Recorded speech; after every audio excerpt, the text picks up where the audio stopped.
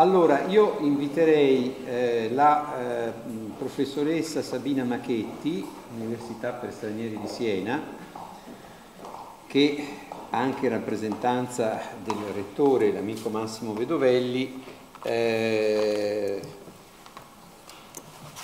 è qui fra noi e eh, affronterà i temi collegati al ruolo che l'Università per Stranieri di Siena ha avuto nel master, che eh, è un ruolo tanto importante quanto specifico, anche perché ha mh, aggredito un profilo della eh, nozione e delle pratiche di partecipazione eh, poco frequentato, anche se spesso evocato, eh, vale a dire che l'importanza del linguaggio, dei linguaggi e quindi delle forme di comunicazione interna ai vari noveri di attori che possono alternarsi nei processi. Non so se l'ho detta adeguatamente bene.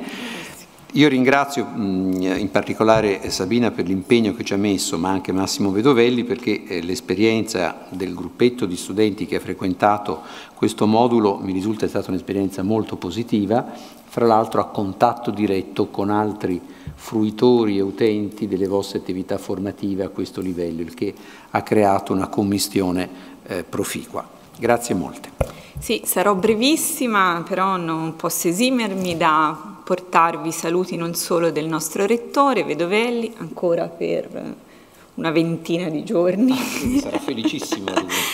e ovviamente di tutta l'Università per stranieri.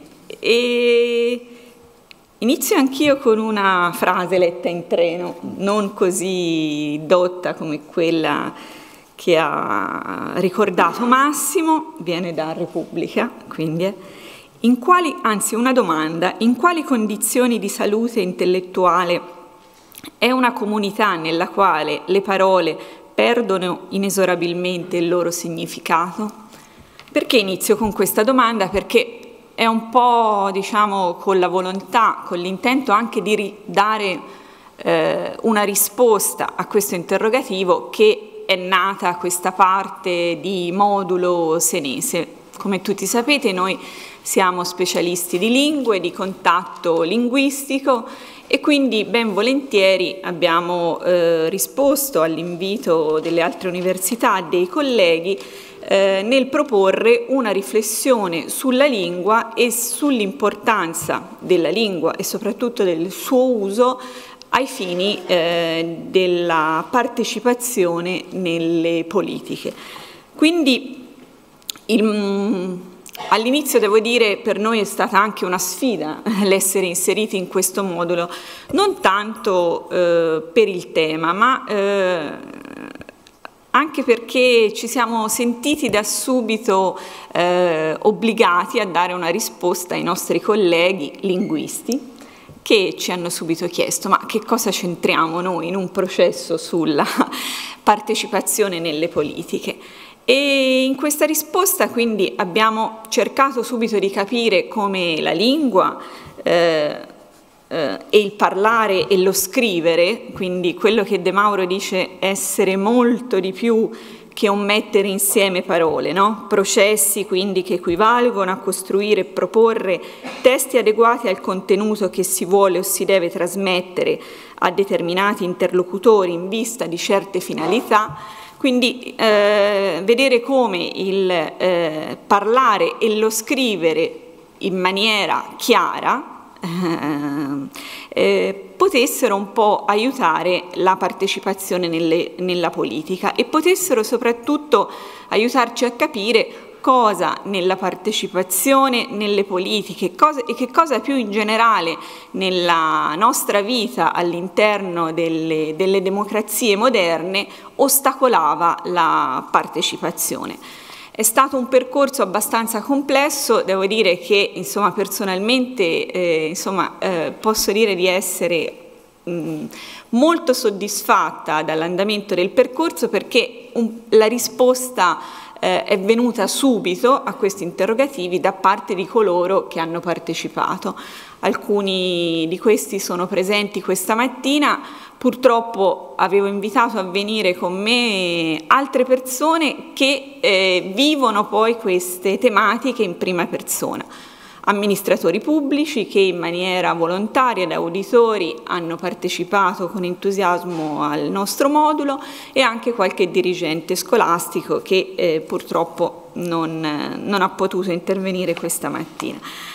Ma mh, mm, ripercorrendo un po' i contenuti velocemente, appunto dicevo all'inizio, eh, il nostro percorso è, è, è iniziato eh, diciamo, cercando di andare a capire da dove nasce nelle nostre democrazie in Italia il rischio dell'incomprensione. Quindi siamo partiti, abbiamo avuto anche un intervento del professor De Mauro su una riflessione sulla condizione linguistica della società italiana eh, attraverso anche una rilettura delle vicende linguistiche che hanno riguardato la nostra società dall'unità del Paese ai nostri giorni.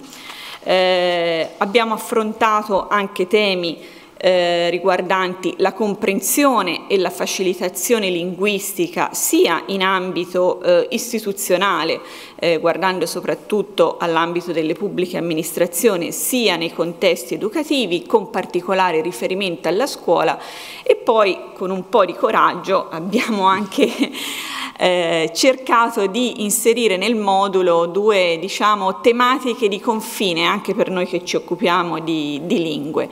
Eh, il rapporto tra lingua e economia, quindi andando a vedere come eh, le lingue eh, ecco, in un contesto di eh, partecipazione attiva alla eh, vita democratica e alla democrazia di un paese potessero in qualche modo essere eh, dei veri e propri incentivi per lo sviluppo economico di un paese e poi anche andando a vedere come ehm, eh, le lingue nella loro pluralità potessero essere organizzate e soprattutto potessero essere visibili eh, rispettando questa pluralità all'interno di quelli che alcuni colleghi linguisti, eh, linguisti chiamano spazi linguistici urbani.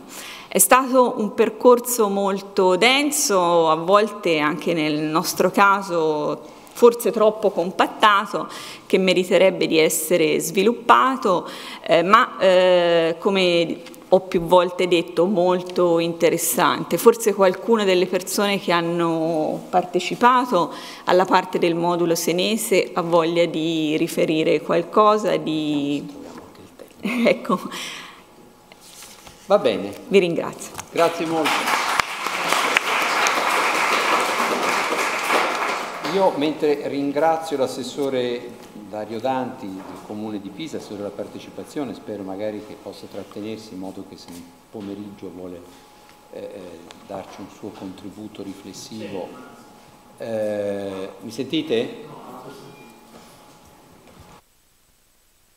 Io volevo ringraziare l'assessore Dario Danti del Comune di Pisa, che è l'assessore alla partecipazione, eh, e eh, augurandomi che possa trattenersi per il pomeriggio, se eventualmente poi vuol darci un suo contributo riflessivo, ne saremo molto, molto lieti.